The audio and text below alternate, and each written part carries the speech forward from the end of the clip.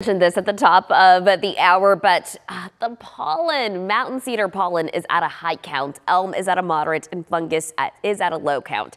I'm going to focus though on the mountain cedar pollen. That's what generally causes issues with many Texans this time of the year. So mountain cedar is actually coming from mountain cedar trees or juniper trees. They mainly grow in the hill country, but they also grow in parts of West Texas, closer towards Interstate uh, 20 there, towards the southwest of DFW and to the west. With that being said, I have seen a few trees in the city as well, but most of them will be south along the I-35 corridor and towards the hill country. So with pollen production, it actually starts around Thanksgiving and into the holiday season, but it peaks in early February and then it tapers off late February into March. We just happen to be in early February, which is generally when pollen production is at its highest.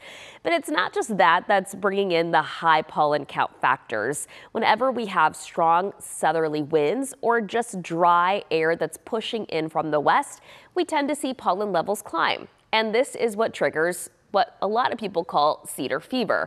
It's whenever it feels like a cold, maybe sometimes it even feels like the flu because it brings on flu-like symptoms, but really cedar fever is consistent with itchy watery eyes, runny nose, and itchy skin. So current winds right now are out of the south. So where that green bubble is, where the trees grow, you see that wind transporting the pollen into DFW. So when is it going to change? Not anytime soon, unfortunately.